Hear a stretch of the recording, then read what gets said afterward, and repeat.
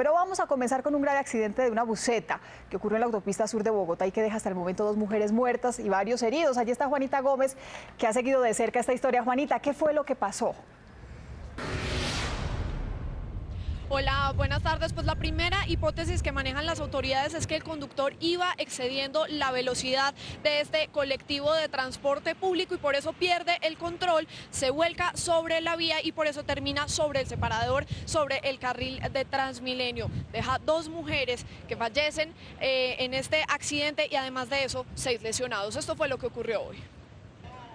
El accidente se presentó en este puente de la autopista sur con transversal 73 Sur, cuando en horas de la mañana un colectivo de transporte público de placa UFR 214, afiliado a la empresa Cotransper, que cubre la ruta Soacha-Bogotá, perdió el control y se volcó en la vía.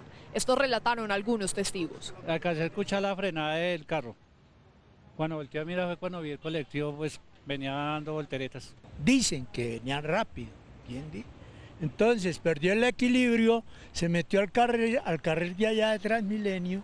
También denunciaron que cuando no hay trancón en este sector es común ver que los vehículos excedan la velocidad. Cuando no viene el Transmilenio, entonces lo enganchan por ese lado y por ganar tiempo, ¿sí?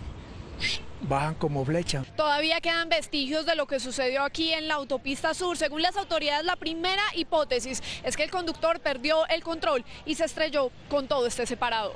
La Secretaría de Salud entregó un reporte de los heridos. Tenían diagnósticos de trauma craneoencefálico severo, trauma craneoencefálico leve, trauma cerrado de toras, trauma cerrado y abierto de abdomen, trauma de extremidades. Las personas heridas fueron trasladadas a la clínica de la policía, la clínica San Rafael, el hospital Meisen y el hospital Tunal.